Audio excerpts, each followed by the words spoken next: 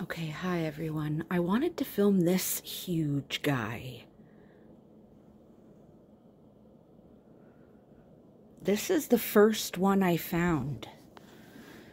Um, it was down in the ground and I could only see like a, a bit of it.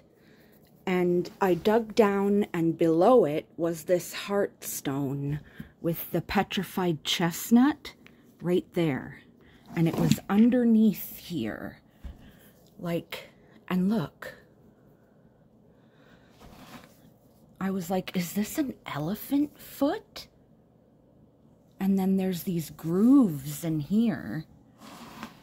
And it, it, right there. But like, look, that's like the toe part.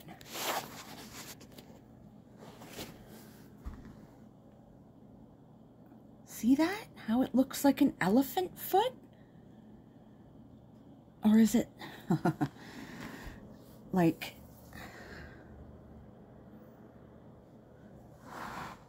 this is all flattened.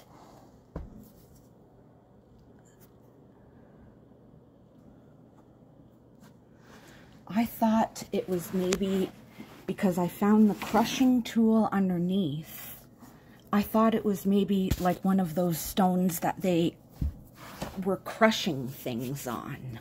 Like this was right there. It was like that. That was the part that was in the ground. This was right underneath that part. And see how there's these grooves that go down? And then that big toe bit. They were like stretching skins or and grinding obviously chestnuts on here. This was like a big tool. Like a big crushing base. See all of those marks in there from things being crushed? And then I think they were stretching skins too. And like, this was like a big multi-purpose, almost like workbench type stone. Cool, eh? I don't know if, because this whole part is flat. Like, I don't know. But look at that.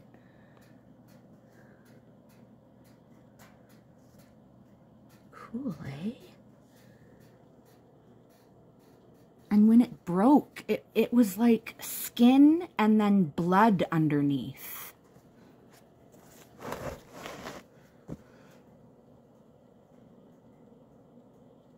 See that?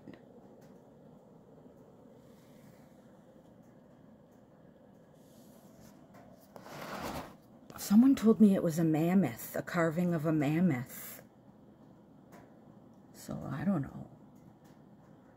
It's one of my favorites though, and this was one of the first ones that I found. Well, it was. I dug this up. I was listening to my headphones and I followed um, I followed, look, it fits in your hand so perfect to be crushing these.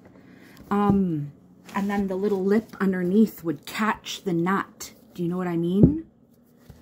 Um,